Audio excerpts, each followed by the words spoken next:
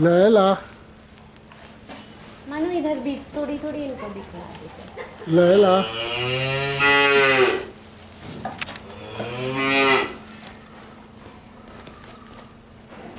चलो आ जाओ।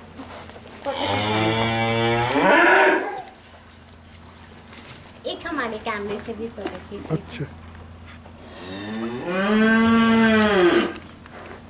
मनु आप इधर खड़े हो बस ऐसे फ़ोटो खींच।